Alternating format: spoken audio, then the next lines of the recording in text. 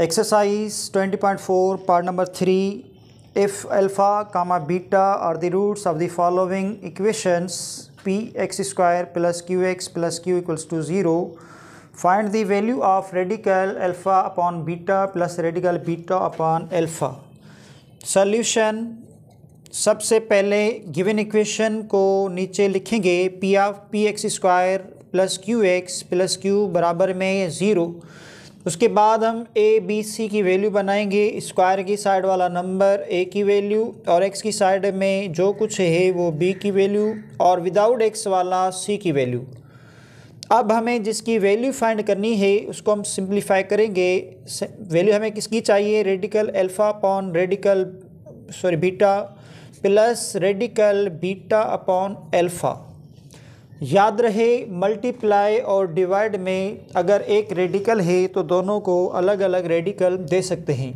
तो हम यहाँ पर क्या करेंगे? अल्फ़ा को रेडिकल अलग देंगे बीटा को रेडिकल अलग देंगे रेडिकल बीटा को अलग देंगे अल्फ़ा को रेडिकल अलग देंगे। इसके बाद हमें प्लस माइनस में नीचे वालों का एल्सियम निकालना है। नीचे क्या है? रेडिकल बीटा रेडिकल अल्फ़ा दोनों का एल्सियम निकालेंगे तो radical beta multiply radical alpha होगा। और उसके बाद ऊपर वाले बाई क्रॉस मल्टीप्लाई होंगे। रेडिकल अल्फ़ा को रेडिकल अल्फ़ा से मल्टीप्लाई करेंगे तो रेडि सिर्फ़ अल्फ़ा आएगा। रेडिकल बीटा को रेडिकल बीटा से मल्टीप्लाई करेंगे, बीटा आएगा। याद रहे, जब रेडिकल के दो रेडिकल एक जैसे हो तो उनमें से एक नंबर बाहर आएगा, क्योंकि पेयर बनेगा पेयर में से ऑलवेज एक नंबर बाहर आएगा।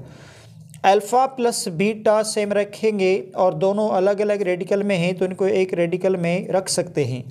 Sum of roots alpha plus beta जिसका फार्मूला है माइनस बी अपॉन ए और product of roots alpha into beta का फार्मूला है c upon a minus same b की जगह पर बी की वैल्यू रखेंगे क्या? क्यू अपॉन में ए की जगह पर ए की वैल्यू रखेंगे p whole upon radical c की जगह पर रखेंगे सी की वैल्यू क्यू और ए की जगह पर ए की वैल्यू रखेंगे पी ये उल्टा हो जाएगा minus q upon p divided by बल्कि डिवाइड करें या ऐसे ही लिख लें।